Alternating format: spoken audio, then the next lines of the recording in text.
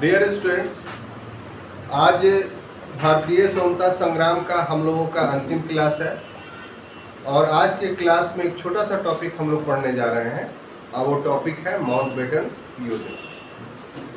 ये mount batten योजना को मन बाटन योजना भी कहा जाता है, क्योंकि इसी के माध्यम से हमारे देश दो टुकड़ों में बढ़ गया था।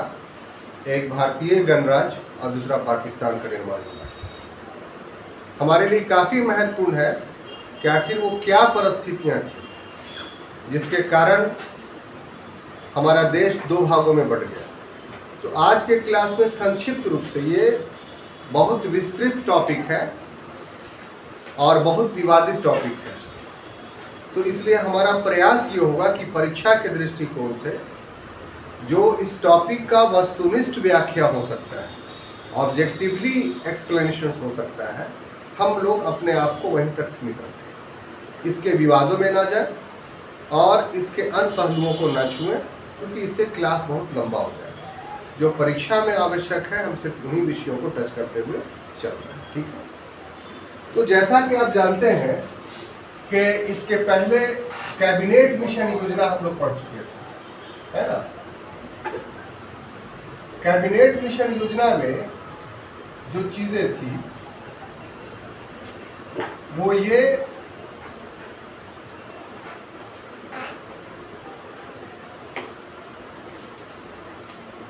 कि दो चीज़ों का मुख्य रूप से उसने सिफारिश किया था। जैसा कि आपको याद होगा, एक, अंतरिम सरकार का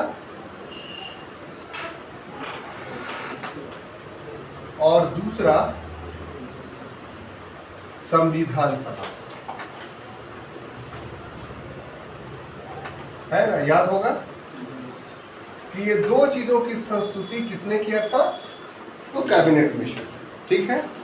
अब इस संस्तुति के आधार पर इस दोनों चीज़ के लिए एक चीज़ ज़रूरी थी, निर्वाचन, यानी चुनाव। है ना? जब तक ये नहीं होता तो संविधान सभा भी नहीं बनता। क्यों? क्योंकि इसमें था कि भारतीयों के द्वारा चुने गए। जो बॉडी होगी, वो इसका निर्माण करेगी। तो निर्वाचन जो हुआ, वो जुलाई 1946 ईस्वी कब हुआ? जुलाई 1946 कैबिनेट मिशन योजना कब आई? मार्च 1945 उसने संस्तुति किया क्या? कि एक अंतरिम सरकार बनेगी और दूसरा संविधान सभा का हो गठन। अब इसमें जितने प्रोविजंस थे कौन कौन तो वो सब पूर्व के क्लास में लोग देख चुके हैं। हम लोगों का जो यहाँ उद्देश्य है कि कैबिनेट मिशन योजना का जो रिकमेंडेशंस था, उस रिकमेंडेशंस को जब प्रैक्टिकली लागू किया गया, तभी विवाद उभर करके सामने आता है। ठीक है?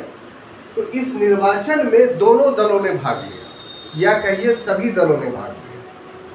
दो दल हम यहाँ पर इसलिए कह रहे हैं कि दो दल ही महत्वपूर्ण थे। बाकी दलों का अस्तित्व राष्ट्रीय स्तर पर नहीं था। तो दो दल जो काफ़ी महत्वपूर्ण थे, उसमें एक कांग्रेस थी और दूसरा मुस्लिम लीग। तो ये जो निर्वाचन हुआ, ये सांप्रदायिक निर्वाचन प्रणाली के आधार पर हुआ। अर्थात जो 1935 के अधिनियम में प्रावधानित थे, कि विशेष वर्गों के लिए आरक्षित सीटें कर दी गई उस ग्राउंड पे हुआ। जब निर्वाचन हुआ तो उसमें जो जनरल सीटें थी, उसमें कांग्रेस ने अपने आप को बहुत अच्छा प्रदर्शित किया।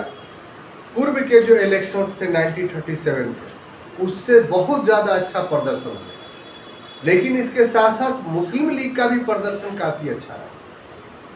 हम लोग उन्नीस सौ सैंतीस के निर्वाचन में देखा था और पढ़ाया था आपको कि उन्नीस सौ सैंतीस के इलेक्शंस में मुस्लिम लीग को मुसलमानों ने नकार दिया।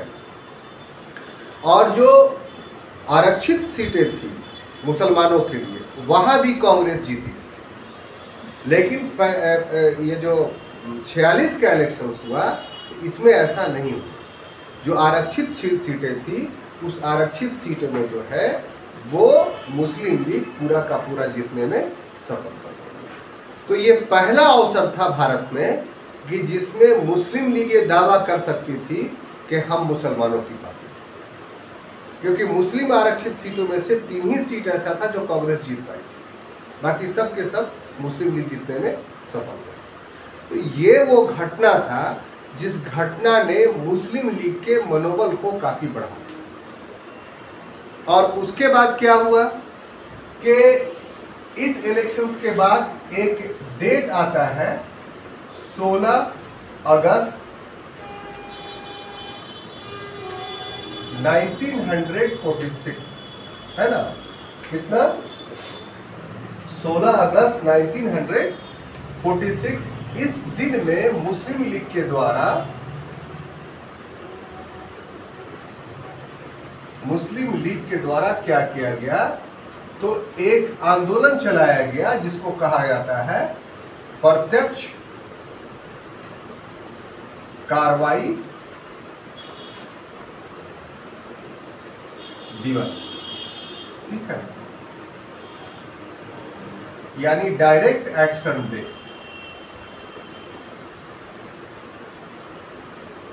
direct action Muslim League यद्यपि की 1940 में पाकिस्तान की मांग को रख दिया था कि हमें पाकिस्तान चाहिए। लेकिन कैबिनेट मिशन योजना जब लागू हुआ तो कैबिनेट मिशन योजना को मुस्लिम लीग ने अनमने ढंग से स्वीकार कर लिया। आप अच्छी तरीके से जानते हैं कि कैबिनेट मिशन योजना में विभाजन का प्रस्ताव नहीं था। ठीक है? इसको दिमाग में रखिए। तो मुस्लिम लीग के द्वारा कैबिनेट मिशन योजना को मानने का अर्थ यह हो गया कि अब वो विभाजन के पक्ष में नहीं। ठीक है यानी मार्च 1945 के बाद की रणनीति जो मुस्लिम लीग की रही थोड़ा परिवर्तित रूप से रही ढुलमुल रही और इसीलिए कैबिनेट मिशन योजना के तहत जो निर्वाचन कराया गया जुलाई में, उसमें मुस्लिम लीग ने भाग लिया। भाग लेने के बाद जो सफलता उसको मिली उस सफलता के कारण मुस्लिम लीग की नीति पुनः बदल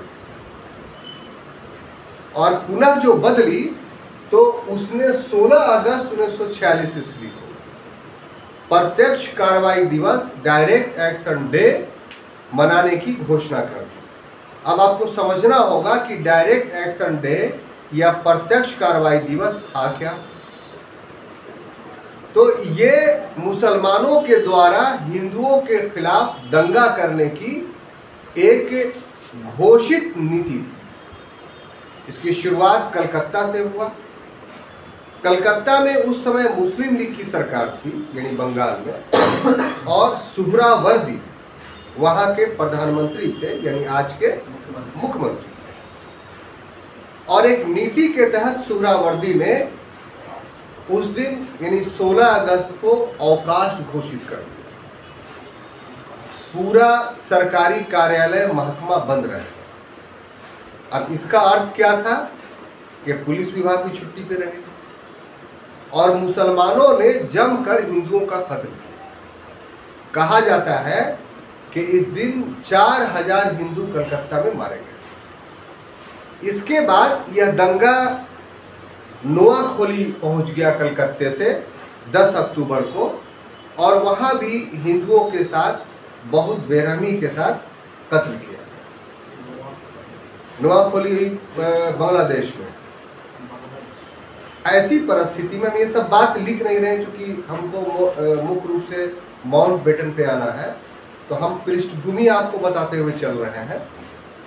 और बाकी चीज़ें आप अपना डेट वेट लिखना होगा तो आप वीडियो पॉज कर करके अपना कर लीजिए।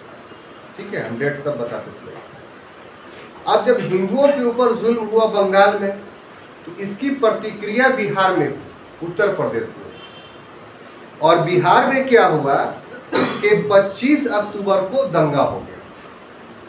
तो यहाँ हिंदुओं ने मुसलमानों को कत्ल करना शुरू उत्तर प्रदेश के गढ़ मुक्तेश्वर में नवंबर आते आते जो है, वो दंगा पहुँच चुका था और वहाँ एक हज़ार मुस्लिम तीर्थयात्री थे, जिनको एक ही दिन में कत्ल कर दिया इस प्रकार मार्च सैतालीस तक आते आते ये दंगा संपूर्ण पंजाब में फैल गया और भीषणतम रूप ले लिया। इतना भीषणतम रूप ले लिया कि गांधी जी को अपनी नीतियों पर शक होने लगा तब गांधी जी कलकत्ता चले गए और कलकत्ता से नोआ खोली गए। इस समय एक बहुत महत्वपूर्ण तथ्य आपको बताने जा रहे हैं वो ये कि गांधी जी के साथ कांग्रेस का कोई व्यक्ति साथ नहीं दिया सेवा एक समाजवादी के और वो समाजवादी थे राम मनोहर लोहिया ठीक है? ये सब छुपा हुआ जो ऑब्जेक्टिव है, इसको जानबूझ करके याद रखिए आप। यही सब कमीशन में क्वेश्चन एराइज किया जाता है। राम मनोहर लोहिया और गांधी, ऐसे तो उनका विरोध दोनों का हुआ, मुसलमानों ने भी किया, हिंदुओं ने भी किया। लेकिन गांधी को अपनी नीतियों पर, जो भारत में राजनीति कर रहे थे वो, उन पर काफ़ी विश्वास था। नतीजा हुआ कि गांधी के आगमन के पश्चात नोआखली में दंगा रुक गया। कलकत्ते में आकर के गांधी जी ने उपवास किया तो सुहरावर्दी जो है उनके साथ आने के लिए तैयार हो गए। इस तरीके से गांधी और सुहरावर्दी के साथ आने के बाद दंगा पर जो है नियंत्रण स्थापित कर दिया लेकिन ये नियंत्रण ऐसा नहीं था कि संपूर्ण भारत में स्थापित हो पंजाब जल ही रहा था, बंबई जल ही रहा था। बंगाल में दंगों को नियंत्रित करने के परिवेश में इसीलिए माउंटबेटन ने कहा था गांधी जी के बारे में he is one man boundary force कहा था कि जो तीस हज़ार की पुलिस या सेना हमारी नहीं कर सकी वो गांधी ने अकेला कर दिखाया यानी दंगों को रोक दिया। इसका मतलब ये एक, एक अकेला आदमी सैनिक है जिसके पास तीस हज़ार सैनिकों का बल तो यहाँ पर गांधी का नीति या औचित्य साबित हुआ कि गांधी सही पर थे? लेकिन इस पक्ष के बावजूद भी ये भी एक पक्ष था कि दंगा नहीं रुक रहा और यही दंगा नहीं रुकना इस बात की परिस्थितियाँ पैदा कर रहा था कि भारत अब विभाजित हो जाता अगर ये दंगे नहीं होते तो फिर भारत के विभाजन की परिकल्पना जो जिन्ना पाले हुए था अपने दिमाग में उसका कभी भी सफलीभूत नहीं क्लियर अब देखिए, इस घटना के बाद जो दो डेट आपको है, वो याद रखना होगा। हम बिल्कुल ऑब्जेक्टिवली पढ़ाना चाह रहे हैं। क्योंकि इसमें अंतरिम सरकार बनाने की बात थी। तो एक डेट है दो सितंबर।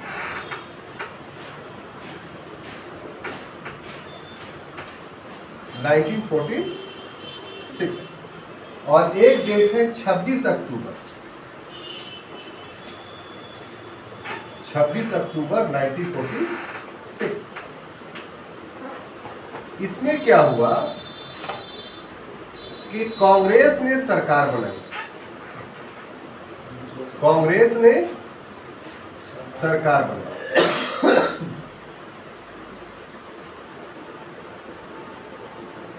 और 46 में क्या हुआ, अक्टूबर 26 अक्टूबर छियालीस को, कि मुस्लिम लीग इसमें शामिल हो कौन? Muslim League? नहीं, सरकार में शामिल हो गए। अब ये दो घटनाओं को आपको देखना होगा। इसके अंदर बहुत सारी बातें समाहित है, शामिल है। कि यहाँ हमने बताया कि अंतरिम सरकार का गठन होगा। अंतरिम सरकार का मतलब यहाँ पर यह था कि ब्रिटिश सरकार भी रहेगी और भारतीयों की भी सरकार रहेगी मतलब क्या होगा कि सुप्रीमो ब्रिटेन रहेगा। लेकिन देश के अंदर आंतरिक मामले जो है, वो भारत के लोग देखेंगे अर्थात दूसरे शब्दों में कह लीजिए कि संचार, सुरक्षा, मुद्रा, ये सब विषय तो गवर्नर जनरल के पास होंगे। या सेना, लेकिन अन्य विषय जो है, पूर्ण रूप से जैसे प्रांतीय स्वायत्ता मिल गई थी 1935 के अधिनियम के द्वारा प्रांतों को। तो उसी ढंग से स्वायत्ता पूरा का पूरा मिल जाएगा किसको? केंद्र स्तर पर। इसका अर्थ ये है, इसका अर्थ ट्रांसफ़र ऑफ़ पावर नहीं था यहाँ पर। हालाँकि अंतरिम सरकार शब्द का इस्तेमाल होता है तो उसका अर्थ यही लगाया जाता है कि ट्रांसफ़र ऑफ़ पावर के लिए इंटरिम गवर्नमेंट बन रही है। लेकिन अभी उद्देश्य ये नहीं था। तो ऐसी परिस्थिति में गवर्नर जनरल ने अगस्त महीने में ही जवाहरलाल नेहरू को पत्र लिखा कि आप जो है सरकार बना लीजिए। इस समय विवाद क्या उभरा वो जरा समझने की ज़रूरत है। तो कुल तेरह लोगों का मंत्रिमंडल बनना था। कितना? तेरह थर्टी उसमें से पाँच कांग्रेस के पाँच मुस्लिम लीग के एक सिख से एक अनुसूचित जाति से और एक एंग्लो इंडियन से। काउंसिल ऑफ़ मिनिस्टर में लोग शामिल होते यहाँ पर मुद्दा ये हो गया कि मुस्लिम लीग ने ये डिमांड कर दी कि जो पाँच मुसलमान हैं, वो सभी का सभी नामांकन हम करेंगे। और कांग्रेस जो है, जो पाँच हिंदू हैं, उनका नामांकन करें। कांग्रेस इसके लिए तैयार नहीं क्योंकि कांग्रेस के स्थापना के समय मूल नीतियों के उर्दू था। कांग्रेस कभी भी कभी अपने आप को हिंदुओं की पार्टी घोषित नहीं की थी। उसका पूरा स्वतंत्रता संग्राम का इतिहास धर्मनिरपेक्षता के सिद्धांतों पर आधारित था। तो अगर लीग की बात को कांग्रेस मान लेती, इसका मतलब कांग्रेस इस बात को मानती, के साहब, हम हिंदुओं की पार्टी। इसलिए कांग्रेस ने नहीं माना।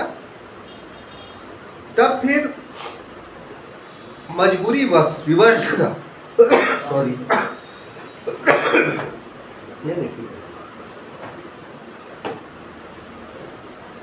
वेवेल को, इस समय वेवेल ही गवर्नर जनरल था माउंटबेटन अभी नहीं आया था। कांग्रेस को मंत्रिमंडल बनाने के लिए आमंत्रित करना पड़ा। और जिन्ना जो है, वो इस दिन 2 सितंबर को सरकार में शामिल नहीं और कांग्रेस ने जो सरकार बनाई, उसमें जो लोग शामिल थे, वो Pandit Jawaharlal Nehru, Sardar Vallabhbhai Patel, doctor Rajendra Prasad, Aruna Asaf Ali, Rajagopalachari Sharad Chandra Bose, doctor John Mathai Sardar Baldev Singh, sir Safat Ahmed, Jagjivan Ram, Syed Ali Zaheer और सी एस भाभा। इसमें आप गौर से देखिएगा कि मौलाना आज़ाद का नाम नहीं है इंट्रीम गवर्नर क्यों नहीं है? तो मुस्लिम लीग के इसी हठधर्मिता के कारण उनको बहुत बुरा लगा। तो उन्हें कहा कि हम काउंसिल ऑफ़ मिनिस्टर में शामिल नहीं हैं अब जब ये सरकार बन गई तो बीच बीच में वेवेल जो है जिन्ना से मिलता रहा, उसको बुलाता रहा, पुचकारता रहा, कि तुम भी सरकार में शामिल हो तो ऐसा क्यों, ऐसा इस कारण से हुआ कि अंतर्राष्ट्रीय स्तर पर वो ये साबित कर सके कि हम सभी को सत्ता हस्तांतरित करना चाहते हैं। कोई एक वर्ग भी अछूता नहीं रहे। तो ऐसी परिस्थिति में वेवेल के सामने मजबूरी थी कि वो मुस्लिम लीग को सरकार में शामिल करवाए। कुछ समय गुजरने के बाद, यानी 2 सितंबर के बाद 26 अक्टूबर के बीच में का जो समय है, उसमें एक क्षण जिन्ना को ये लगा कि हमें सरकार में शामिल हो जाना चाहिए। हम अगर सरकार से बाहर रहते हैं तो पाकिस्तान की मांग को मजबूती के साथ नहीं उठा पाएँगे। तो इस प्रकार से सहमति भर दी भर दिया जिन्ना ने कि हम सरकार में शामिल होंगे। और 26 अक्टूबर उन्नीस सौ छियालीस ईस्वी को मुस्लिम लीग सरकार में शामिल हो गई।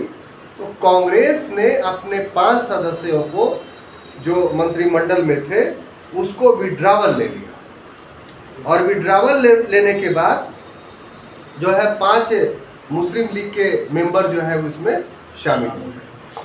उसमें सबसे महत्वपूर्ण बात यह है कि वित्त मंत्रालय मुस्लिम लीग के पास चला गया। फाइनेंस मिनिस्टर ये एक ऐसा मंत्रालय होता है कि अगर ये अड़ंगा लगा दे तो फिर बाकी सारे मंत्रालय का काम अवरुद्ध हो जाए। तो जो वित्त मंत्री बने मुस्लिम लीग के तरफ़ से तो ऐसी परिस्थिति में जो है, उनका नाम लियाकत अली खान था। ये मुस्लिम लीग के थे और फाइनेंस मिनिस्टर बने। तो लियाकत अली खान ने बजाते तौर पे घोषित कर दिया ये, कि हम सामूहिक, इसको जरा बढ़िया से समझिएगा, कि हम सामूहिक नेतृत्व को नहीं स्वीकार करते। मंत्रिमंडलीय शासन व्यवस्था की विशेषता क्या होती है कि उसमें कलेक्टिव रेस्पॉन्सिबिलिटी सामूहिक उत्तरदायित्व देना पड़ता है, जिसका अर्थ ये होता है कि जो head of the council of ministers यानी अभी का प्राइम मिनिस्टर उस समय का उप राष्ट्रपति कहा जाएगा। जो पंडित जवाहरलाल नेहरू थे, उनके नेतृत्व को उसने मानने से इनकार कर दिया, लिया कर दिया। और फिर अन्य विभागों के जितने रिकमेंडेशन आते थे वित्त मंत्रालय में किसी के लिए पैसे का अलॉटमेंट नहीं करते तो इस प्रकार से मुस्लिम लीग जैसे ही सरकार में शामिल हो गई सरकार की सारी गतिविधि ठप हो यानी मुस्लिम लीग का शामिल होना देश चलाना उद्देश्य नहीं था बल्कि पाकिस्तान बनाना उद्देश्य था। अब बात समझ आ रही है? एक तरफ़ ये परिस्थितियाँ चल रही थी कि सरकार ठप थी दूसरी तरफ़ दंगा रुका नहीं था जो भी पूर्व में जन्म दिया। तो दोनों स्थितियाँ में देश कैसे चल सकता था? अब ऐसी परिस्थिति में कुछ और घटनाएँ घटी, जिसका विवरण देना अनिवार्य होगा। वो घटना ये था कि गांधी जी ने घोषणा कर दिया कि अब विभाजन जो है मेरे लाश पर से हो गांधी जी तैयार नहीं थे। मौलाना अबुल कलाम आज़ाद भी तैयार नहीं थे कि देश विभाजित नहीं हो। लेकिन जो परिस्थितियाँ थी, उस परिस्थितियाँ में अब हालात ऐसे बन रहे थे कि बिना विभाजन के देश चल ही नहीं सकता। तब वेवेल ने जो है, वो तैयार किया पटेल को और नेहरू को। तो गांधी जी इसी बीच में वेवेल से मिले और उन्होंने वेवेल को कहा कि ऐसा कीजिए कि आप जिन्ना को ही प्रधानमंत्री बना दीजिए। कांग्रेस के हाथ में सत्ता मत दीजिए, मुस्लिम लीग के हाथ में सत्ता दीजिए। और हिंदुओं की सुरक्षा के लिए आप यहाँ पर कुछ दिन और रुक जाइए। गांधी जी का यह प्रस्ताव को एक सिरे से पटेल ने और नेहरू ने खारिज कर दिया और बेवेल भी इस पक्ष में नहीं कि हम अब यहाँ रहें। क्योंकि आर्थिक रूप से उसको हानि हो रही थी ब्रिटेन को, द्वितीय विश्व में उसको बहुत लॉस हुआ था। अंतर्राष्ट्रीय स्तर पर उसकी छवि बहुत धुमिल हुई थी। तो इस कारण से ब्रिटेन स्वयं जाना चाहता था यहाँ से। इसलिए गांधी के इस प्रपोजल को नहीं कांग्रेस के नेताओं ने माना और न ही वेवेल तब गांधी जी विभाजन के लिए अनमने ढंग से तैयार हुए। जब गांधी जी तैयार हुए तो फिर सबसे महत्वपूर्ण बात है कि कांग्रेस के कार्यकारिणी में जो प्रस्ताव रखा गया, वो मौलाना अबुल कलाम आज़ाद के द्वारा रखा गया। और उन्होंने जो रखा, उसके पूरे सेंटेंस को पढ़िएगा तो आपको पता चलेगा कि कितनी मजबूरी में इसको एक्सेप्ट किया गया कांग्रेस के द्वारा।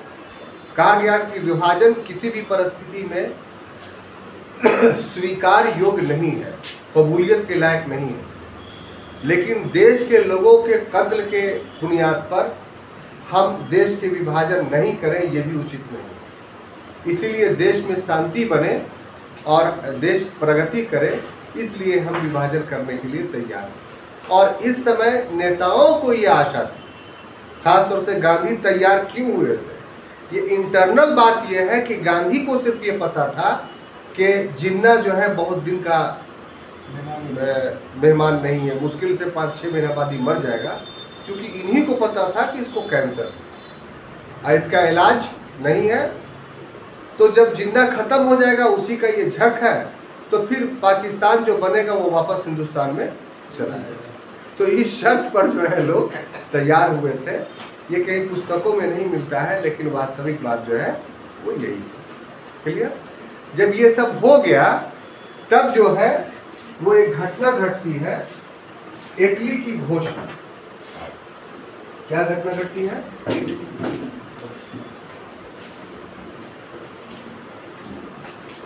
इटली की हाँ। की घोषणा। इटली की घोषणा जो होता है, वो 20 फरवरी उन्नीस सौ सैतालीस 20 फरवरी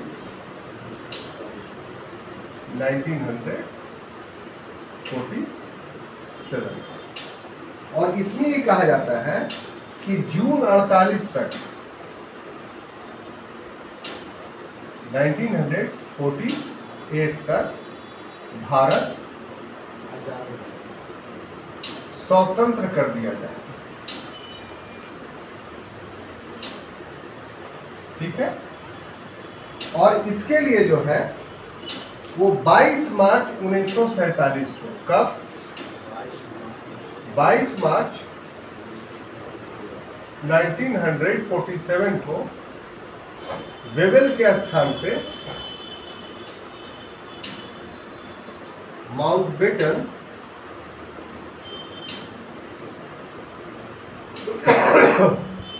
वायसराय बने। क्या बने? जब ये तय हो गया कि अब देश विभाज देश कैसे विभाजित होगा तो वो पूर्व के अभी अभी बातों में स्पष्ट हो गया था कि हालात ऐसे हो गए थे कि अब देश को अक्षुण रखना सेवा हत्या कराने के समतुल्य होगा। तो इसलिए हत्याओं से बचने के लिए दंगे से बचने के लिए एक व्यवस्था के तहत जो है विभाजन को स्वीकार किया गया ये था हकीकत। अब जब ये हो गया कि कांग्रेस भी तैयार है मुस्लिम लीग भी तैयार है।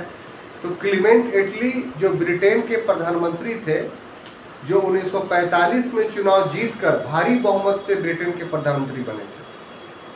और वो अपने घोषणा पत्र में कह चुके थे कि यदि हम सरकार बनाएँगे तो भारत को स्वतंत्र कर देंगे। इसका मतलब ब्रिटिश जनमत उनके साथ थी भारत की स्वतंत्रता की। इसलिए उनको कोई दिक्कत नहीं हुआ कि जब वहाँ के दोनों पक्ष तैयार हैं तो उन्होंने 20 फरवरी को दंगा 16 अगस्त से चल ही रहा था। 20 फरवरी तक भारतीय नेता तैयार हो ही चुके थे। तो 20 फरवरी को उसने घोषणा कर दी कि जून तक हम भारत को छोड़ करके चले जाए इसके पहले ही ये लास्ट डेट था कि इससे अधिक नहीं होगा। अब ये कष्ट साध चीज़ था। तो इसके लिए वेवेल उपयुक्त नहीं थे, बल्कि 42 वर्षीय एक युवा माउंट को भारत भेजा गया, क्योंकि उसके संबंध सभी पक्षों से बहुत अच्छे थे, लॉर्ड माउंट ये भारत में आने के बाद विभिन्न नेताओं से अपना विचार विमर्श किया। इसमें पेज फंसा दो बार क्या जनसंख्या के आधार पर विभाजन हो या भूभाग के आधार पर विभाजन? ठीक है? तो अगर जनसंख्या के आधार पर विभाजन होता तो फिर एक लंबा समय लगता। है लंबा समय क्या? कि जनसंख्या का स्थानांतरण करना पड़ता। मैंने पूरा जनसंख्या काउंट करना पड़ता। जितना प्रतिशत होता, उतना भूभाग जो है, उतना प्रतिशत भूभाग अलग कर करके उस जनसंख्या को देना पड़ता। व्यवहारिकता इसकी इजाज़त नहीं दे रही थी। व्यवहारिकता इसकी इजाज़त क्यों नहीं दे रही थी, वो जरा समझने की बात है। आदमी यूँ ही हवा में बात करते हैं, ये जो विभाजन हुआ था ना, ये जो चुनाव हुआ था, ये वास्तव में सार्वभौम विचार नहीं जो संविधान सभा का चुनाव हुआ वो प्रत्यक्ष तो हुआ नहीं था, अप्रत्यक्ष हुआ था। जो ग्यारह विधानसभाएँ थी, वही चुन करके भेजी इसका मतलब इस चुनाव में जनता की भागीदारी नहीं। पहली बात। दूसरी बात की जो विधानसभा चुनी गई थी, वो सिर्फ़ पंद्रह प्रतिशत लोगों के मतदान के द्वारा चुना गया था। यानी भारत में जो निर्वाचन की पद्धति अंग्रेज़ों ने विकसित किया था, उसमें जो आम चुनाव हुआ 1945 में विधानसभाओं का, उसमें सिर्फ़ भारत की जनसंख्या के 15 प्रतिशत लोगों ने भाग लिया था। और वो लोग कौन थे? तो या तो जमींदार थे, या तो सरकारी मुलाजिम थे, या तो ग्रेजुएट थे आम जन इसमें शामिल 15 परसेंट पे नहीं। यानी भारत के नोबल क्लास के लोग थे। तो आम जन में जो हिंदू भी था, वो भी, जो मुसलमान था, वो भी, उसको इस विभाजन से कोई मतलब ही नहीं था, कोई जानकारी ही नहीं था। उन दोनों के बीच देहातों में बहुत मधुर संबंध बने हुए थे आज भी। और ऐसी परिस्थिति में उन देहातों से अगर मुसलमानों को निकाल करके आप बोलते कि चले जाइए आपका ज़मीन वहाँ है तो कोई निकलता ही नहीं नहीं हिंदू निकलने देता। इसलिए कि ये भाव नहीं, देहातों में नहीं घुस पाई थी। तो प्रैक्टिकली जनता का स्थानांतरण जो है, वो संभव नहीं था। क्योंकि भारत का सामाजिक और आर्थिक संरचना इतना आबद्ध हो चुका था इस समय तक कि जनसंख्या का अगर पलायन करते तो अर्थव्यवस्था पूरी की पूरी चौपट हो जाती। समाज पूरी का पूरा टूट जाता है। एक ताना बाना बना हुआ था एक लंबे समय से। नेता इस बात को जानते थे कि अगर जनसंख्या के आधार पर विभाजन होगा तो एक नया समस्या भारत में उपस्थित होगा और वो कभी भी विभाजन को सफल नहीं होने देगा। अंग्रेज़ भी इस बात को जानते थे कि ये संभव नहीं और हम फिर फंस जाएँगे इस चक्कर में। इसलिए देश का विभाजन भूभाग के आधार और भूभाग के आधार पर क्या निर्णय हुआ? तो जो मुस्लिम बहुल क्षेत्र थे, उस मुस्लिम बहुल क्षेत्र में जो वहाँ की, यहाँ भी गौर से आप समझिए, कि जो वहाँ की विधानसभाएँ थी, वहाँ की पब्लिक भी नहीं, उन विधा, उन विधान विधानसभाओं में मुस्लिम मेंबर्स और हिंदू मेंबर्स को अलग कर दिया गया। और फिर उनसे मतदान करवाया गया कि आप किसके पक्ष में भारत में रहने के पक्ष में है या भारत के से जाने के पक्ष में है? बात समझिए। तो स्वाभाविक सी बात है कि सब नोबल क्लास के लोग थे। कौन? जो एमएलए थे। पब्लिक को कोई मतलब नहीं थी। तो एमएलए ने फैसला कर लिया कि नहीं, हम भारत के रहने के पक्ष में नहीं है मुस्लिम एमएलए तो अब जो जो मुस्लिम एमएलए जहाँ जहाँ से चुना गया था, सबका क्षेत्र होगा। तो वो वो क्षेत्र जो है पाकिस्तान में। बात समझ में आई? और इसके इसके लिए रेड क्लिफ के नेतृत्व में एक आयोग बना और रेड क्लिफ ने सीमांकन कर दिया कि ये क्षेत्र जो है, वो पाकिस्तान है। और ये मतदान जो है, चूँकि दो जगहों पे हुआ, एक बंगाल में और दूसरा उत्तर पश्चिम भारत तो इसलिए पाकिस्तान दो रूपों में उभर करके सामने आया।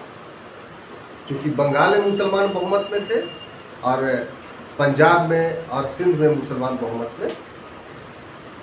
इसमें एक बात और हम बताना चाहते हैं आपको कि जो खान अब्दुल गफ्फार खां का इलाका था, यानी पश्तून का इलाका, स्वाद घाटी का इलाका तो ये पाकिस्तान के मिलने के पक्ष में नहीं थे।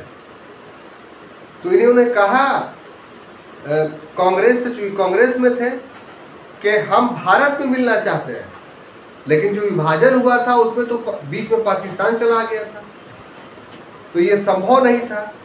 तो खान अब्दुल गफ्फार ने उस समय बहुत रोते मन से कहा था कि कांग्रेस ने हमें धोखा दिया।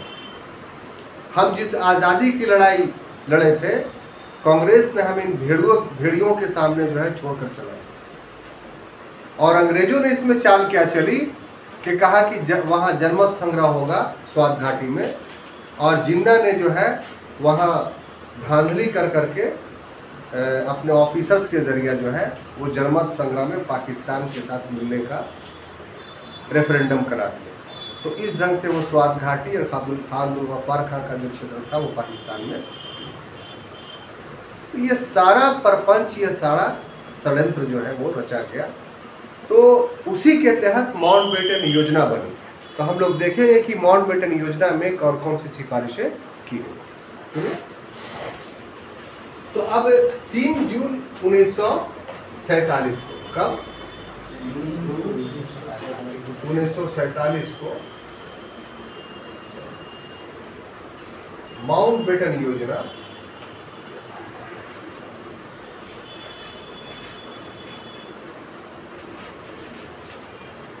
योजना लागू हुआ। और चूँकि इसको मन बांट दिया गया था, इसीलिए इसको मन बांटन योजना भी बोलते हैं। यानी हिंदू मुसलमानों के बीच क्या हुआ? मन बट गया। इसको क्या बोलेंगे? माउंट बेटन योजना। और इसमें जो सिफारिशें की गई, उनको जरा गौर से देखिए। उसमें पहला बात यह था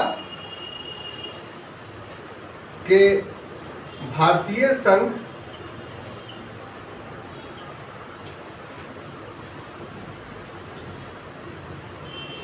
दो भागों में बट गया।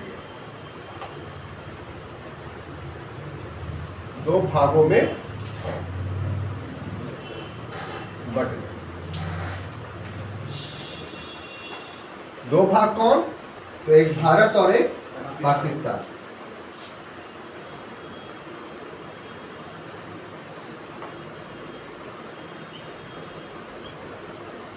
संविधान सभा के प्रस्ताव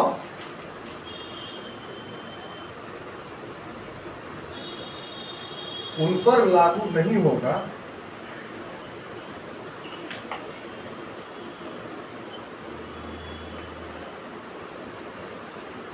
जो इसे नहीं मानते जो इसे नहीं मानते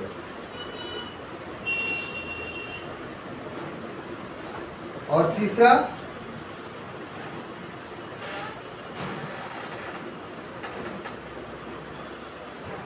कि बंगाल और पंजाब में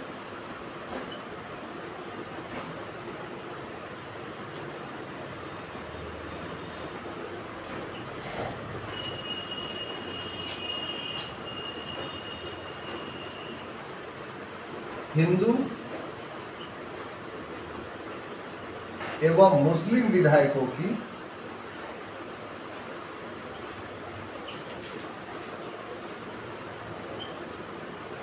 मुस्लिम विधायकों की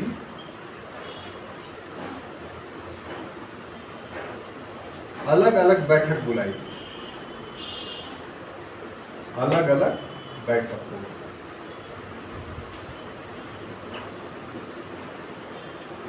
और उत्तर पश्चिमी सीमा प्रांत में यानी खाम अब्दुल गफ्फार खां वाला क्षेत्र में।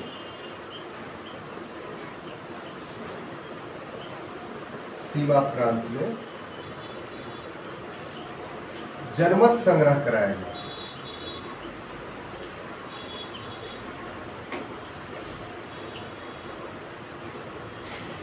असम के सिलहट जिला में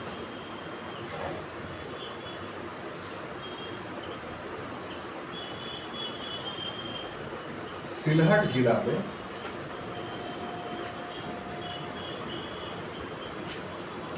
जनमत संग्रह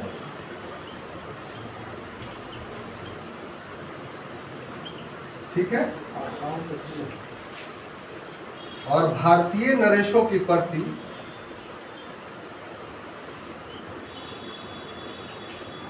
भारतीय नरेशों के प्रति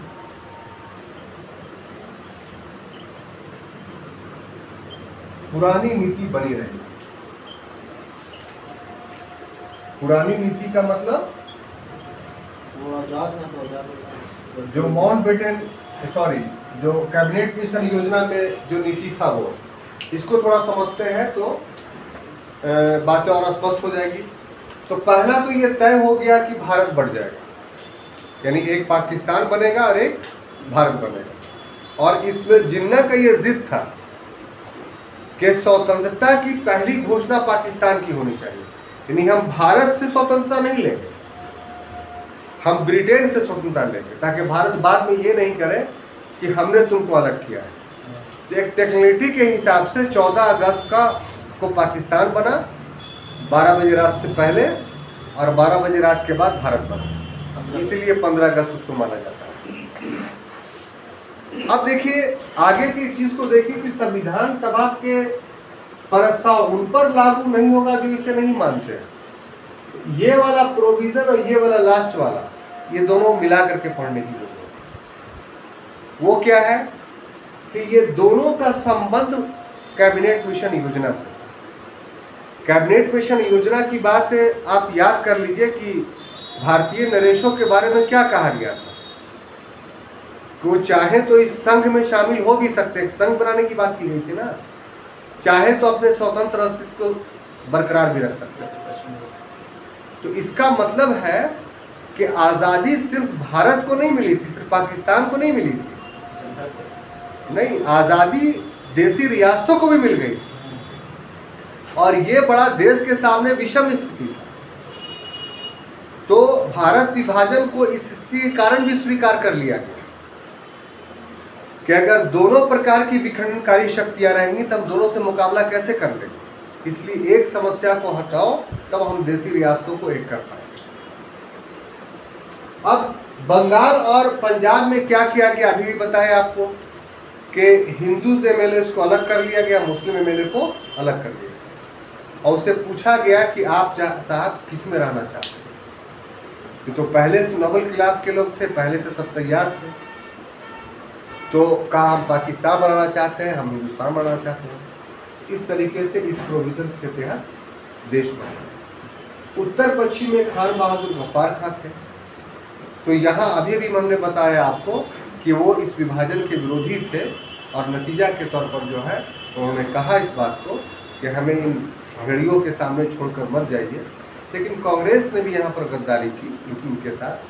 कि जो लोग इनके साथ तन मन धन से लड़े, इतनी कुर्बानियाँ दी, उनको वास्तव में छोड़ दिया गया। और अंग्रेज़ों ने ओछी चाल चली जनमत संग्रह का। और जनमत संग्रह में सारे लोग जो है पाकिस्तान के थे। और उन लोगों ने अपने से वोट मार करके उत्तर पश्चिमी सीमा को घोषित कर दिया कि यह जनमत संग्रह पाकिस्तान के पक्ष में असम का सिलहट जिला भी विवादित था तो वहाँ भी जनमत संग्रह कराया गया। तो उसने भी पाकिस्तान में जो है वो मिलने का निर्णय लिया। तो देखिएगा, आज भी सिलहट बांग्लादेश का एक भाग है। इस तरीके से छात्रों हमारे देश को इस माउंटबेटन योजना के तहत जो है, आज़ादी मिली और ये आज़ादी बहुत दुर्भाग्यपूर्ण थी क्योंकि जो अखंडता का क्षेत्र था, वो भी खंडित हो गया। अब ये हमारा अंतिम क्लास है। अगले बार से जब हम लोग मिलेंगे तो एक नए सब्जेक्ट के साथ तब तक के लिए